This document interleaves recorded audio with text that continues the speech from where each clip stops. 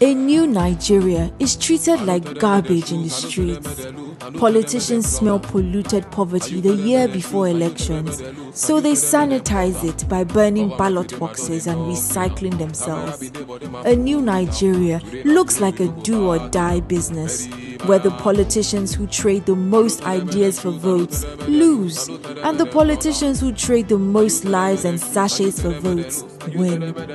A new Nigeria makes God look like a joker because some people thank God for surviving the violent election, and some thank God for a peaceful and successful election.